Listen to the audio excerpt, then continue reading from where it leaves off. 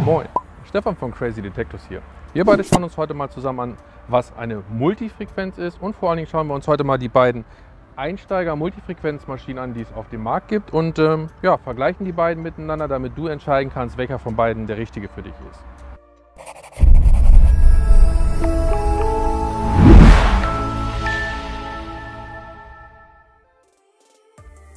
Ja, wie du sicherlich weißt, geht es bei der Schatzsuche so ein bisschen immer um die Frequenzen. Das heißt, ein Militaria-Sucher braucht meistens eine tiefe Frequenz, die tief in den Boden geht, also ich sag mal 5 Kilohertz. Und ein Schmuck- und Schatzsucher, der auf Münzen und Kleinteile geht, braucht also eine höhere Frequenz, wie zum Beispiel 20 oder 40 Kilohertz. Hat den Vorteil bei den 40 Kilohertz oder den 20 Kilohertz, dass wir Kleinteile besser orten können, kommen nicht so tief runter und im Umkehrschluss mit einer tiefen Frequenz kommen wir zwar tief runter, aber finden die Kleinteile nicht so gut. Das heißt, meistens hat man dann Maschinen genommen, die so ein bisschen dazwischen liegen. Also ich sag mal so 10 Kilohertz, 15 Kilohertz, 18 Kilohertz, um einfach ja so einen kleinen Allrounder darzustellen. Seit drei Jahren gibt es jetzt eine Technik, die nennt sich Multifrequenz, die also jetzt in dem Apex drin verbaut ist und in dem Vanquish. Und der Riesenvorteil bei dieser ja, Multiflex und Multi-IQ ist einfach, dass das Gerät zeitgleich mehrere ja, Frequenzen durchschießt, anstatt nur eine einzelne, wie es sonst üblich war.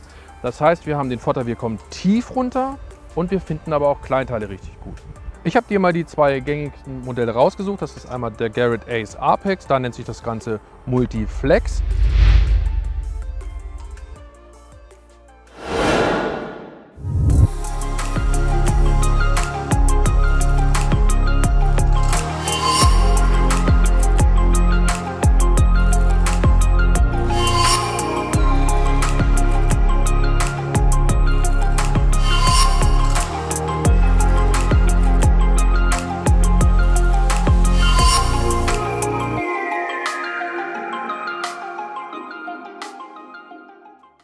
Den Vanquish 540. Da nennt sich das Ganze Multi-IQ. Ist letztendlich genau das gleiche, halt ja, anderer Hersteller, unterschiedliche Bezeichnungen.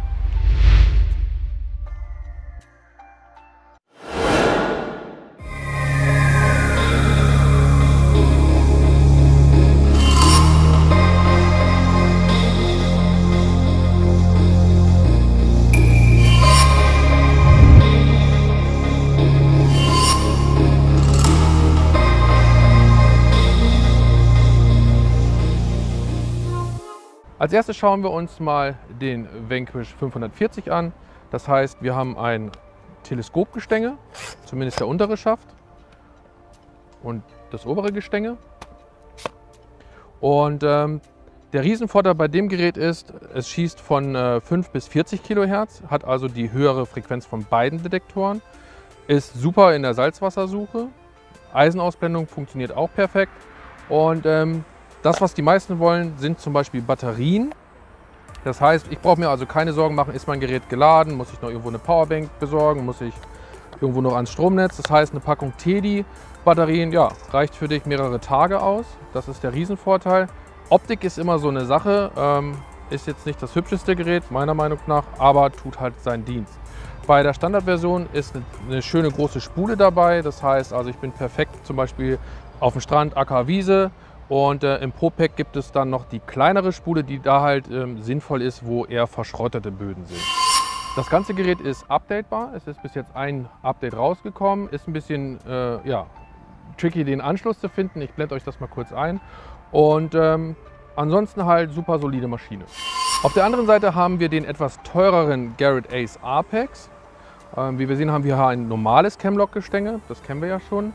Und ähm, hier ist die Optik ein bisschen schicker, wie ich persönlich halt finde. Also wir sind schön schlank, in gelb gehalten alles. Und ähm, Vorteile hier sind zum Beispiel diese neue Viper-Spule.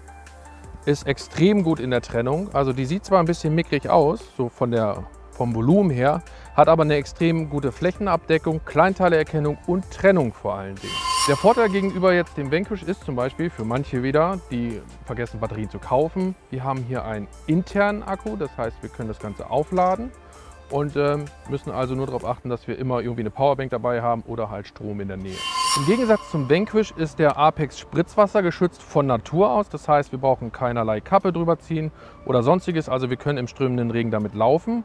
Und ähm, was jetzt der große Vorteil hier ist, ist, dass wir bereits mit dem Apex einen guten Grundstein haben, um uns so ein kleines Funkhabitat aufzubauen. Denn wir bekommen zum einen Funkkopfhörer für das Gerät im Set oder zum Nachkaufen, genauso wie auch den Pinpointer mit dieser Z-Link-Funktion. Das heißt also, wir können den Detektor und den Pinpointer über die Kopfhörer laufen lassen und äh, wir haben also ein komplett geschlossenes System. Das haben wir beim Vanquish zum Beispiel nicht.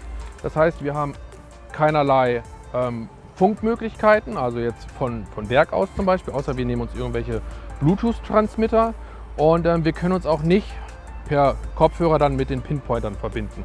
Das ist also wie gesagt bei der Garrett-Variante ein bisschen schöner, dafür kostet er auch ein bisschen mehr. Frequenztechnisch unterscheiden sich beide ein bisschen, das heißt der Garrett schießt von 5 bis 20 Kilohertz, während der Vanquish von 5 bis 40 Kilohertz schießt. Das heißt, er hat eigentlich die doppelt so hohe Frequenz. Beide finden aber meine drei Testnuggets, das heißt also leistungstechnisch sind sie beide gleich auf, was die Kleinteile angeht.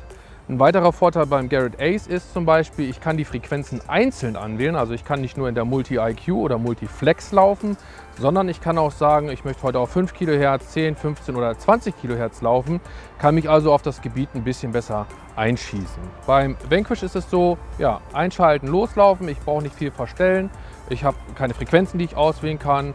Und ähm, ja, nach dem Umgebungsscan kann es hier eigentlich schon losgehen. Wie auch beim Vanquish ist der Garrett Ace Apex auch updatebar. Und für mich hat das Update nochmal einen Riesensprung nach vorne gemacht, denn ähm, leistungstechnisch hat sich was getan, Materialerkennung ist wesentlich besser geworden nun. Und ähm, da sind wir eigentlich auch schon bei dem großen entscheidenden Unterschied, was mich persönlich ja, eher zum Garrett greifen lässt. Und zwar haben wir beim Vanquish eine Leitwerttabelle von minus 9 bis 40 Einheiten während wir beim Ace Apex eine Leitwerttabelle von 0 bis 100 haben. Das heißt, wir haben hier also 50 Einheiten mehr, die uns helfen zu entscheiden, ja, lohnt sich das zu graben oder nicht. Das heißt, wir haben ein, eine bisschen breitere Aufteilung der einzelnen Signale. Das heißt also, ich kann schon unterscheiden, was genau es ist, während es beim Vanquish ziemlich eng gestrickt ist. Ist reine Geschmackssache. Ich habe äh, ja, angefangen mit einem A250, mit einem AT Pro, also ich bin eher diese 100er Leitwerttabelle gewohnt und ist für mich gerade im Park eher von Vorteil als halt dieses zu eng gestrickte. Beide Geräte haben eine super Materialerkennung. Ähm, mit beiden Geräten graben wir kaum Kronkorken. Wir haben beim Garrett Ace Apex noch den Vorteil vom Iron Audio. Das heißt, wir können das Eisen ausblenden und wir kriegen so einen richtig ekligen Eisenton, wenn zum Beispiel, ich sag mal, am Kronkorken das Eisen da ist. Und ähm, das haben sie wirklich gut auf die Reihe gekriegt. Beim Vanquish muss ich dafür dann das Eisen einblenden, um halt die Kronkorken rauszuhören, da er das Eisen so gut ausblendet, dass ich halt das Eisen nicht höre. Das heißt, jeder Kronkorken würde ein gutes Signal von sich geben.